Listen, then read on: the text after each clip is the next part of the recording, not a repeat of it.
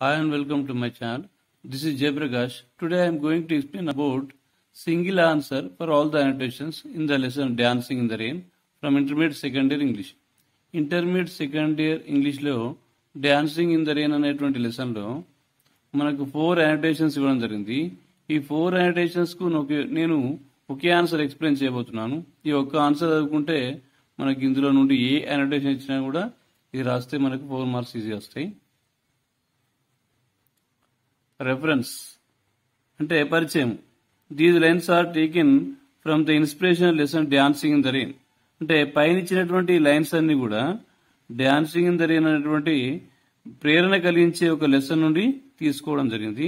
Written by Azim Premji మరి dancing in the rain అనేటువంటి lesson ఎవరు రాశారు అంటే Azim Premji is the chairman of Wipro limited ఈయన ఎవరు అంటే విప్రో లిమిటెడ్ కంపెనీకి ఒక chairman a famous business tycoon T Y C O O N అంటే ఈయన ఒక పేరుగాంచినటువంటి ఒక ప్రముఖ వ్యాపారవేత్త అండ్ ఆల్సో ఏ పిలాంథ్రపిస్ట్ అంతేకాకుండా ఈయన దానశీలి. అంటే పిలాంథ్రపిస్ట్ అంటే ఏంటి?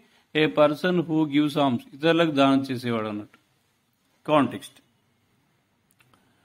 The lesson deals with the plight of the present day children. ఈ లెసన్ ఏ విషయం గురించి చర్చిస్తుంది తెలియజేస్తుంది అంటే ప్రస్తుతం పిల్ల ప్రస్తుతం పిల్లల యొక్క దయనీయమైన పరిస్థితిని గురించి ఈ లెసన్లో ఎక్స్ప్లెయిన్ చేయడం జరిగింది. అంటే ప్రస్తుతం పిల్లలు ఎట్లాంటి పరిస్థితుల్లో ఉన్నారో వాళ్ళ యొక్క దయనీయమైన పరిస్థితిని గురించి వివరించడం జరిగింది.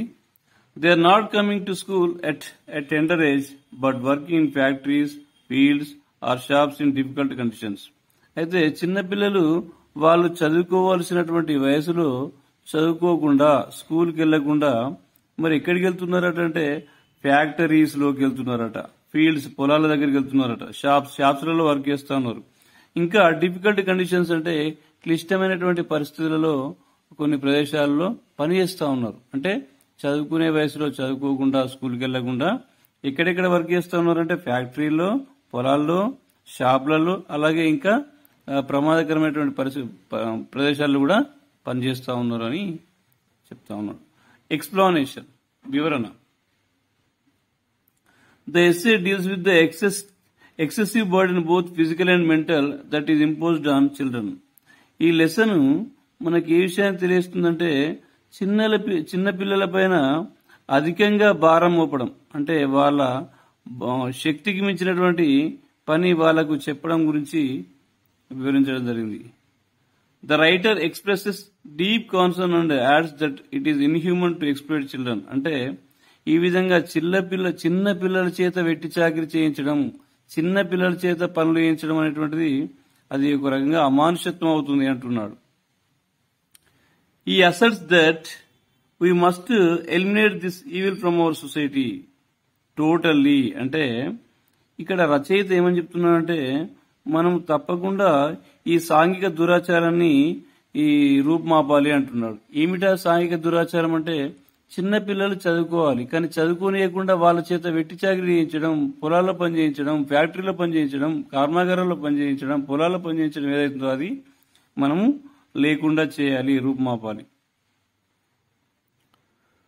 Premji wonders that nowadays the students have no time to meet and play with friends ఈ రోజుల్లో ఇక్కడ ప్రేమ్జీ ఏమని చెప్తున్నాడంటే ఒక ఆశ్చర్యాన్ని వ్యక్తి చేస్తూ ఉన్నాడట. ఏమని? ఈ రోజుల్లో పిల్లలకు వాళ్ళ ఫ్రెండ్స్ని కలుసుకునేంత టైం కూడా లేదు.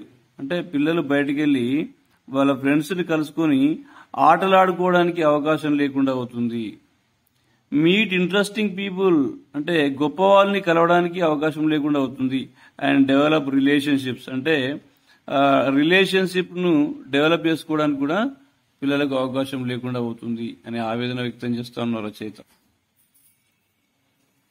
They have no time to examine the world thoroughly అంటే ఈ పిల్లలకు ప్రపంచంలో ఉన్నటువంటి అన్ని విషయాలు తెలుసుకోవడానికి అవకాశం లేకుండా అవుతుంది Gandhi says that the greatest lessons in life are learn from children not from learn men అంటే గాంధీజీ తరచుగా తరచుగా చెప్తా ఉంటాడు ఏంటంటే greatest lessons in life are ఆయన జీవితంలో ఎన్నో గొప్ప గొప్ప పాఠాలు ఎవరి ద్వారా నేర్చుకున్నాడంటే అంటే చిన్నపిల్లల ద్వారా నేర్చుకున్నాడు కానీ లర్నడ్ మెన్ అంటే పండితుల నుండి కాదు అని చెప్తా ఉన్నాడు.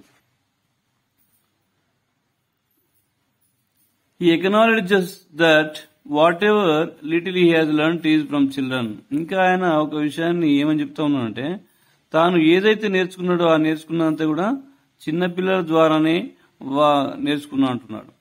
We the parents and teachers need to change our attitude అంటే ఇంకా ఏమని చెప్తున్నా అంటే వీ అంటే మనము. అంటే పేరెంట్స్ కావచ్చు టీచర్స్ కావచ్చు మనము మన వైఖరిలో మార్పు తీసుకురావాల్సిన అవసరం ఉంది అని అంటున్నాడు. And learn from children first ముందుగా మనం పిల్లల నుండి నేర్చుకోవాలి అంటున్నాడు. When we the adults allow children to learn and give the freedom of childhood then India will develop in all respects అంటే ఎప్పుడైతే పిల్లలకు మనము స్వేచ్ఛనిస్తామో వాళ్ళు స్వేచ్ఛగా వారి యొక్క బాల్యాన్ని ఆస్వాదించడానికి అలాగే వాళ్ళు నేర్చుకోవడానికి కావాల్సినంత ఫ్రీడమ్ ఇస్తామో అప్పుడే మన భారతదేశం ప్రజ్వరిల్లుతుంది గొప్పగా తయారవుతుంది అని ఆయన ఆశాభావాన్ని వ్యక్తం చేస్తా ఉన్నారు critical comment Premji reveals his desire that India can become glorious Premji reveal చేస్తాం. తన యొక్క ఆకాంక్షను తన యొక్క బలమైన కోరికను వ్యక్తం చేస్తా ఉన్నాను ఏంటిది?